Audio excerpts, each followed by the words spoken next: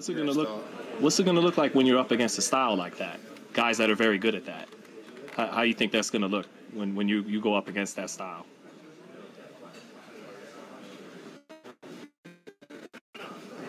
I think I, don't- I don't know. It Just, I mean, first of all, they somebody like that.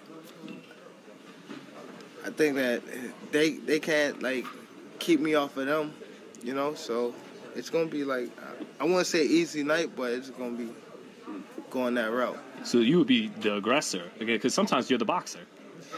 Yeah, it depends. It depends on on the fight or how, how I approach the fight.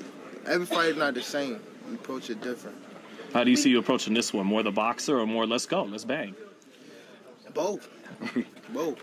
We know what a great fighter you are inside of the ring, but how much of that has been influenced in the fight outside of the ring that you had growing up? Uh, been it been it been pretty like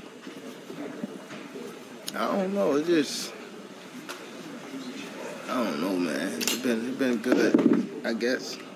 Tank, since the announcement of the fight, you've grown like 500,000 new followers on uh, Instagram. How do you feel about that? I guess it come with it. I, I'm not really too big on like.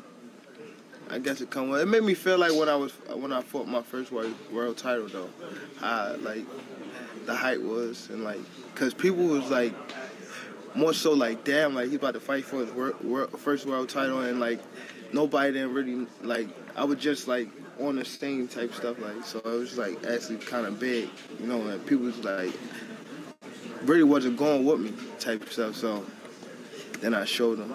Hey, Mike- guys, real quick, let's get some of those other media members to the front. We got a lot behind you guys. So allow them to get to the front because I'm sure they have questions as well. Hey, Mike Tyson. Um, If you guys can switch out a little bit and get some of the other media to the front. take a break. Sure, but we got to get the other guys in there. Yeah, you want to come in and get a better spot? Sure. How about this guy right behind you, Sean? You want to come up? You want to come up and get a better spot? What's your thoughts Come on on up. people comparing their style to Mike Tyson's style as far as aggressiveness, explosiveness? How do you Come compare in. to his Can you style? let this fella in here?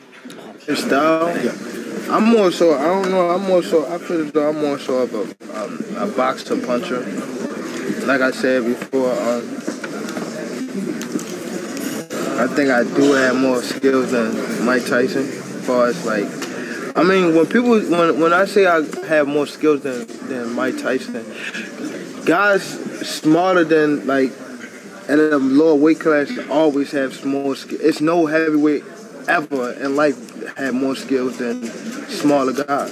So let's just take that out the picture. So when people think that I'm dissing Mike Tyson, I'm not dissing Mike Tyson for sure. It just facts is facts. You know what I mean? Um, I do feel as though I have more skills than Mike Tyson. I just hold that puncher power just like like Mike Tyson did when he was fighting, you know. So, and I'm gonna stand on my my, my words.